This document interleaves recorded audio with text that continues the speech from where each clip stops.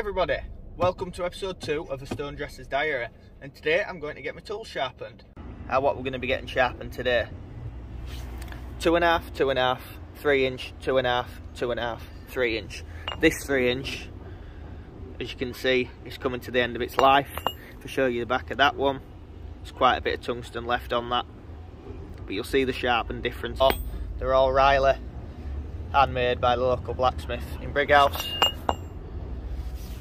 So there's my three inch which has just been freshly sharpened. Is, that focused? There, look how sharp that is now. You know, perfect. Clean edge. But this will only last me a day because the stone I work with it is very hard. So you'll, I'll show you the difference at the end of the day.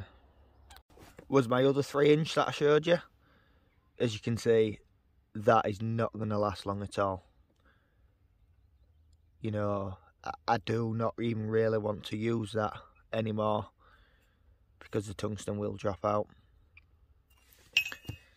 So this is a chisel after it's been used and as you can see it's starting to round over on that edge there so I won't be able to use that anymore.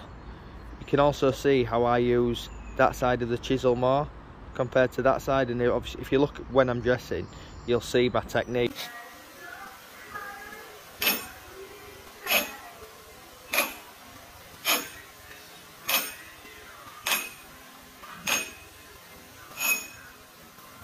Because I hold it and I use that bit of the chisel more than that bit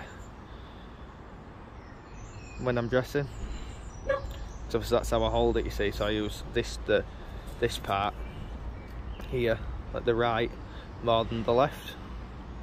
That's just my natural bow on the chisel. So I hope you've all enjoyed watching how I um, sharp how I get my chisel sharp and why I keep them sharp. So look out for episode 3 thank you very much